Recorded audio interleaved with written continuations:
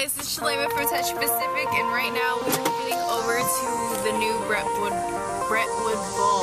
It's under construction right now, and we're gonna